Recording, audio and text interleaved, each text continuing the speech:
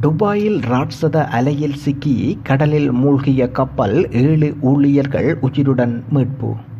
அமீரகத்தில் அரேபிய கடலில் ஏற்பட்டுள்ள குறைந்த காற்றழுத்தம் தாழ்வு மண்டலம் காரணமாக கடந்த இரண்டு நாட்களாக வானிலையில் அசாதாரண சூழ்நிலை நினைவு வருகின்றது.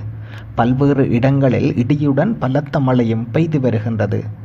தேசிய வானிலை ஆய்வு மையம் கடலில் பன்னிரண்டு அடி வரை அலைகள் உயரக்கூடும் என எச்சரிக்கை விடுத்திருந்தது குறிப்பிடத்தக்கது. இந்த நிலையில் நேற்று முன்தினம் கடலில் பயணம் செய்து கொண்டிருந்த கப்பலில் இருந்து உதவி வேண்டிய போலீஸ் கட்டுப்பாட்டு நிலையத்தில் தொலைபேசி இலக்கம். தொலைபேசி இலக்கத்துக்கு அழைப்பு வந்தது. அதில் ராட்சத அலையில் சிக்கியதினால் கப்பல் பழுதாகி கடலில் மூழ்கிக் கொண்டு இருப்பதாக தகவல் அனுப்பினர். இதனைத் தொடர்ந்து அந்த கப்பல் எங்கு உள்ளது என கடலோர மீட்பு குழுவினர் வேட்டையில் ஈடுபட்டனர். குறிப்பிட்ட கப்பலில் ஜிபிஎஸ் கருவி எதுவும் பொருத்தப்படாத காரணத்தினால் அவர்களை கண்டுபிடிப்பதில் சிக்கல் ஏற்பட்டது.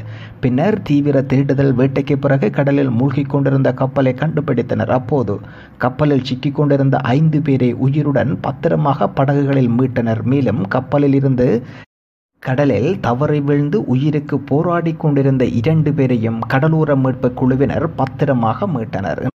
நாங்கள் பார்த்த விடயம் துபாயில் ராட்சத அலையில் சிக்கி கடலில் மூழ்கிய கப்பல் ஏழு ஊழியர்கள் உயிருடன் மீட்பு தொடர்பான தகவல் ஒன்றை தந்திருந்தோம். நன்றி.